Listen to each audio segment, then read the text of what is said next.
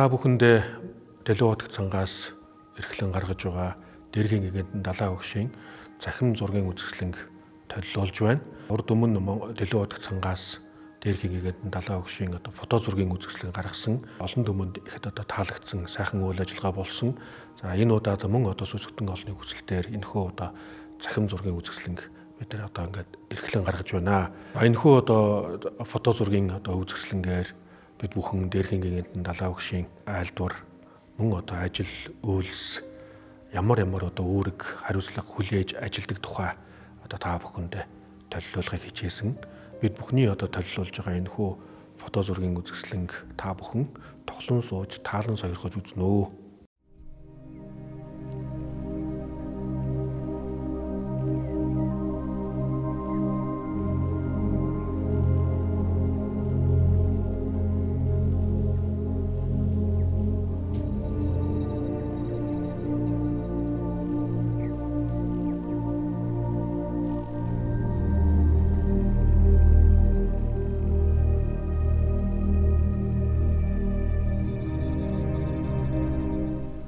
За энэ зурган дээр Дэрхийн 14 дугаар далай лам 1940 онд одоо зураг байна. Бага насны зураг байна. Тэгэхээр энэ 14 дугаар далай ламыг тодруулахад хэн тодруулсан мэхээр тухайн үед төвдийн засаг орогч Радин Рэмбүчи гэж хүн байсан. Тэгэхээр энэ Радин Рэмбүчи эхлээд Найчин чөдөөр буулгасан мөн одоо 13 дугаар далай лам таал барихтаа ямар шинж үзүүлсэн байна тэрийг үтсэн байна. Тэр нь бол ерөнхийдөө зүүн хойд мужид төрсэн байна гэж тийм гарсан байна одоо 14 дугаар далаа ламыг тодруулах экспедиц томилогдож яг одоо эдний гэрт нь ирэх үед энэ одоо экспедицийг ахалж исэн Сарагийн хувилгаан лам өөрийнхөө бараа болгочийн хувцыг өөрөө өмсөөд өөрийнхөө хувцыг бараа болгочтой ингээ өмсүүлээд дөрөв хувь одоо нууж орсон баг. Яг тэр үед энэ гэрт нь орох үед далаа лам ба дөрөв настай хүүхэд Саралама гэж шууд хэлсэн гэж. 14 дугаар далай ламыг тодруулах экспедиц янз янзын зүйлийг одоо цуглуулад олон эрхийг аваад олон одоо эд зүйлстэй хамт ингээд одоо орох үед тэрэн дундаас нь энэ минийх байна гэж өөрөө таньж авсан гэж ярьдаг.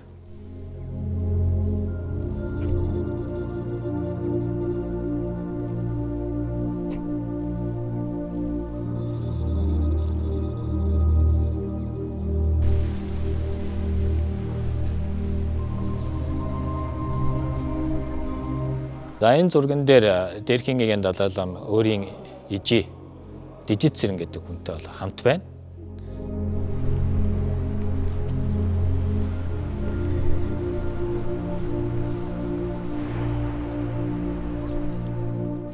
Дэрхингийн далайлам бол байнга ээжигээ дурсан ярьдаг. За юу гэж дурсан ярьдаг вэ гэхлээр энэрэнгүй сайхан сэтгэлийг би анх ээжээсээ суралцсан юм аа. Энэрэнгүй сайхан сэтгэлийг заасан багш минь бол миний ээж байсан гэж ярьдаг юм. За тэгээд э, гаднаас одоо зочид ирэх үед далаа өгшийн ээж нь одоо гэрт байгаа бүхий л одоо сайхан зүйлээрээ бүгднгээр нь одоо зочдыг дайлаад өөртөө хоолгүй хондог байсан гэж одоо далаа өгч дурсан ярьсан. Ах トゥ олуулаа. Гэвч одоо хэдийгээр одоо амьдрал нь яг ядуу тарчиг байсан ч гэсэн гэрт нь орж ирсэн зочдыг ээж нь ерөөсөө гар хоосон гаргадаггүй тийм хүн байсан баг. Тэгээ ер нь бол далаа өгшийн одоо айлдварт байн гардаг хүн төрлөختөн хамгийн анх хүн одоо хүн ихээс төрсөн тэр даруйд хамгийн анх мэдэрдэг зүйл нь эхийн хайр инэрлийг мэдэрдэг юм аа. Тийм учраас хүний үндсэн чанарт одоо энэ энэрэнгүй сайхан сэтгэл байдаг юм. Энийг бид нөр өөрсдөө хөгжүүлэх ёстой гэж айлддаг.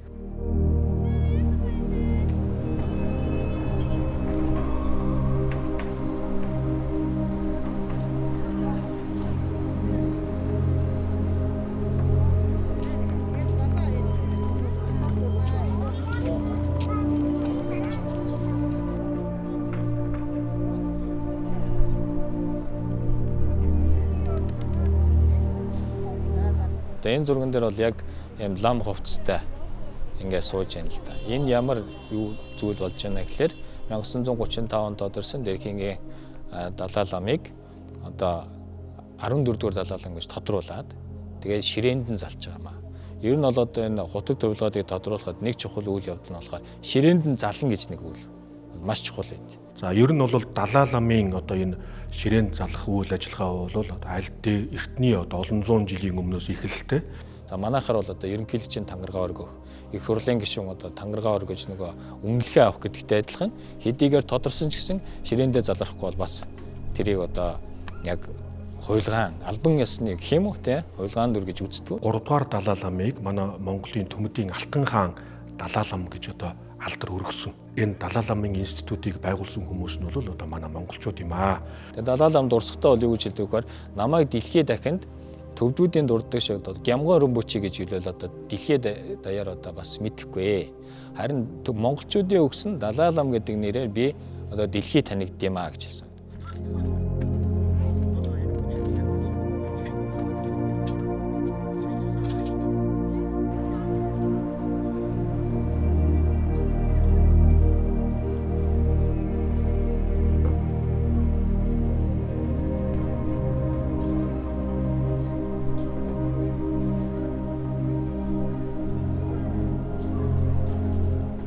За энэ зураг бол дээрхийн гинэтэн далаа өгшийг одоо улс төрийн эрх мэдэл одоо бүрэн хүлээлгэж өгсөн одоо ийм үеийн зураг байна. 14 дугаар далаалан бол маш багадаа улс төрийн одоо эрх мэдлийг үүрэг хариуцлагыг өөртөө хүлээсэн. Энэ ямар учиртай вэ гэхээр тухайн үеийн одоо цаг төрийн байдалтай холбоотой аргагүй эрхэнд одоо 16 настайдаа улс төрийн одоо ажлыг бүхий л одоо үүргийг өөртөө хүлээж ажилласан байгаамаа. За тэгээд энэ хэсгийг бол одоо хожим далаа өгш өөрөө юу гэж айлддаг вэ гэхээр би 16 настайдаа өөрийн эрх чөлөөгөө алдсан, 24 настайдаа эх орноо алдсан гэж ярьдаг юм аа.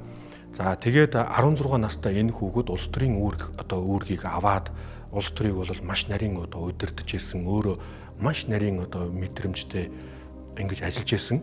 Үүний нэг жишээ нь юу вэ гэхээр ерөнхийдөө бол 59 он хүртэл төвд хятадын асуудал бол нэлээд одоо хурцтан бол байсан. Тэгээд олон удаа хилцээр хийсэн байгаа. Төвдийн төвдийн зүгээс олон элчнэрийг одоо хятад руу Бээжин руу явуулж хилцээр хийжсэн. Нэг удаагийн одоо хилцээрийн үед одоо хилцээр хийх гэж утсан төвдийн элч одоо маргааш нь гэрээнд гарын өсөж урах гээд ингээ байж яах. Яг тэр агшинд нөгөө зал далаа өгшөөс 16 настай нөгөө залуу хүүхдээс нэгэн одоо жижигхэн загтал ирсэн баг.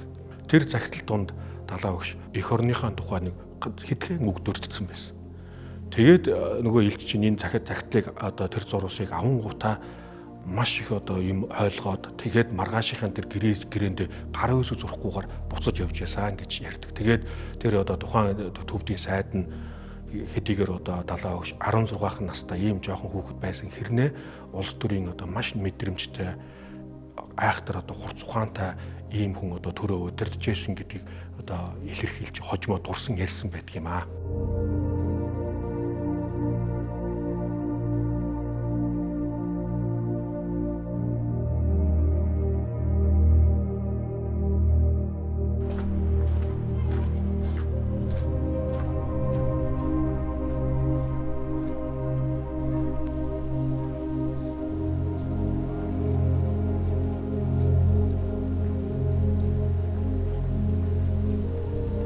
За энэ зурган дээр 1951 онд Дээрхийнгийн 14 дугаар далаалам а Бурхан Буддагийн одоо чандар гэж ярьдаг. Энэ чандрыг одоо хүлээн авч байгаа ийм зураг бол харагдаж байна. А тэгээ ерөнхийдөө бол 1950-аас 59 оны хооронд төвдөд бол улс төрийн одоо нэлээд хүнд цаг үе байсан. За тэгээ яг энэ үед бол одоо ласад нэлээд одоо асуудал хүндэрч ирсэн ийм үед далаа өгш төвдийн ятун гэдэг газарт очиж ойролцоогоор нэг жил орчим шахан болсон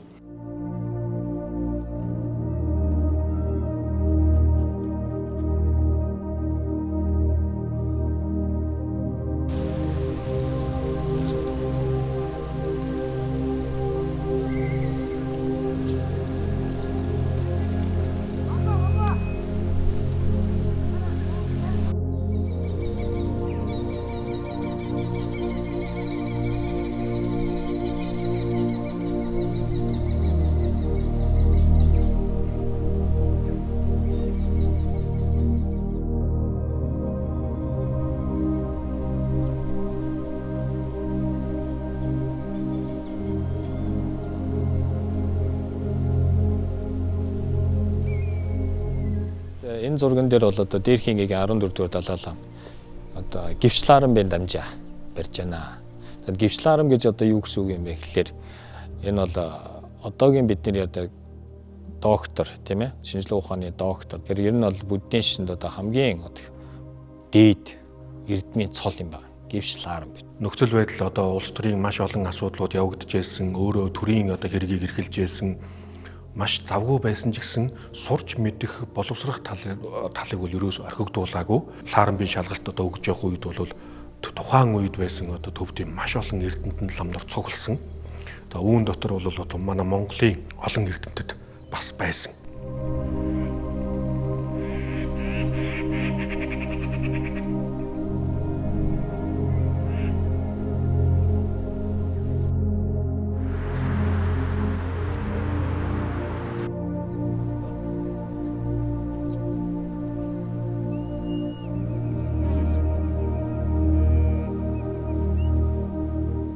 Дэр хингийн далаалам өөрийн хоёр багшийн хамт байна.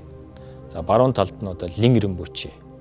За Лин Римбүчи бол таал өрсөн одоо залуу Лин Римбүчи одоо мөн тодорсон байгаа. За зүүн талд нь бол Тичан Римбүчи гэдэг. За мөн Тичан Римбүчи одоо таал өрсөн одоо залуу хувилгаан дүр байгаа. Одоо энэ хоёр багшийн хамт байна. За бурхны шашинд багшийг шүтэх ёс гэж одоо маш нандин чухал зүйл байдаг. Багшийг шүт багшаа шүтчээж одоо багшаа ёсчлон шүтжээж гэгэрэлд хүрнэ гэж одоо номлодог юм байгаамаа. Үүн үүний дагуу одоо дээрхийн далаа өгш бол багш нартай маш их сүжигтэй байсан. Үндсэн хоёр багштай. Янзан багш гэж ярьж байна тийм ээ. Одоо хутаг төвлгаадын одоо энэ багш гэдэг бол юугаар заах вэ гэхээр мэдээж нэгд ном заанаа. За хоёр хутаг төвлгаан гэж одоо бид нар нэг протокол гэж нэг юм байна шүү дээ тийм ээ. Тэгэхээр нөгөө нэг тэр хүн чинь шашин төрийн эзэн хүн учраас хүмүүстэй яаж харьцах вэ? Юу хэлэх вэ? Юу хийж болохгүй? Хоол ундаа эдгтээ одоо яаж идэж уух вэ? Тийм ээ? Энэ бүгдийг нь одоо нэг хүмүүжүүлнэ гэсэн үг шүү дээ. Ягаад гэвэл тэр хүүхэд чинь бага наснаасаа 3 4-ээс сүм ид ингээл суучж байна. Эцэг их нь одоо хамт байхгүй. Тэгэхээр Янзан багш нь л одоо тэр хүнийг л одоо ердөөсөө чиглүүлж ном сургаал дээрээс нь одоо бидний ярьдгаар явдал мөр гэж байна шүү дээ энийг нь одоо ингээд тогтоож өгдөг учраас одоо энэ баг янзан ер нь багш гэдэг бол ерөнхийдөө тухайн лам хүний өөрийнх нь баг л биологийн эцэг биш одоо оюун санааны эцэг нь болчдөг байхгүй. Мөн одоо туслах багш нар цаншив буюу одоо туслах багш нар тухайн үеийн одоо алдартай гайхамшигтай одоо долоон эрдэмтэн байсан. Үүн дотор бол одоо манай өвөр Монголын ойдов цогны гэж багш байсан. За ойдов цогны багш бол одоо дэргийн далаа багшийн одоо хоосон чанарын үзэл онолд суралцахад маш их нөлөө үзүүлсэн ойд цогны багшийг бол байнга дурсаж ярьдаг. Тэгээ энэ тэгт дөрүүж гарах үедээ бол хоёр багштайгаа одоо хоёулангийн хоёр багштайгаа хамт одоо энэ тэгт цагаажилсан. Тэгээд хожимо Лингрен бүжи багшигаа таал төгсөх үед түших тулгуур болох одоо бүх юм нь байхгүй болсон юм шиг санагдаж маш их одоо хүн дээр хүлээж авсан их хүнд байсан их гашуудлал уудгаар одоо гонигт автаж их гашуудлалд одоо автсан боловч цаашдаа би багшийнхаа одоо айлдвар сургаалыг багшийнхаа захиасыг би гүйцэлдүүлэе гэж бодох үед сэтгэл нь тайвширсан гэж өөрөө дурсан ярьсан.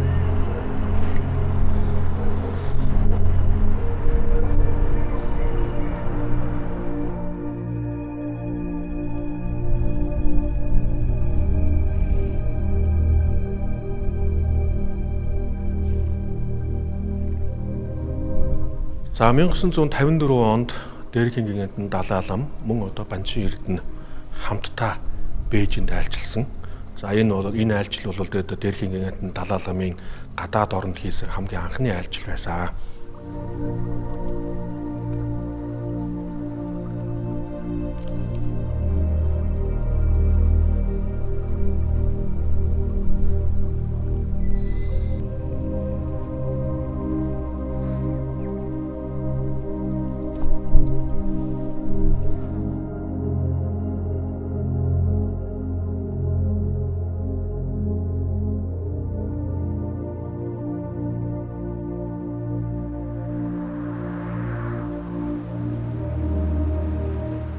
За энэ зурган дээр бол Дэрхингийн 14 дугаар далай лам Энтикийн ерөнхийлөгч Рajendra Prasad-ын хамт байгаа зураг бол харагдаж байна.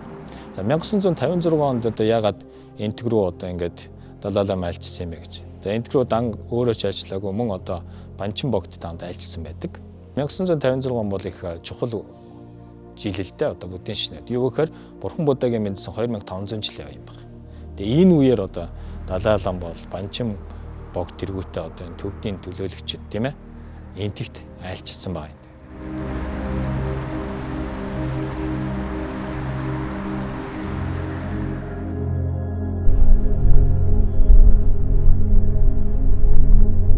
бүгд намтгийн төг улсын дид ерөнхийлөгч Рад Кришнангийн хамт бол байна. Энтгийн дид ерөнхийлөгч Рад Кришн бол Монгол Улсын их сургуулийн анхны одоо гадаад хүндэт доктор юм байна. Тэгэхээр энэ бол нөгөө нэг Монгол улс чи ер нь бол одоо бид нар юу ярьж байна гэхээр энтхэн Монгол бол 3 дахь хөрш гэж 90 оноос хойш бид нар одоо гадаад харилцаанд 3 дахь хөрш гэдэг томьёолыг бий болгосон шүү дээ. Хэдийгээр газар нутгаар холбогддог ч гэсэн бид нар одоо арчлал оюун санаагаараа 3 дахь хөршүүттэй нөхөрлж байна гэж. Тэдний нэг нь бол одоо бидний томьёолдгоор одоо оюун санааны хөрш буюу энтхийг болсон байна.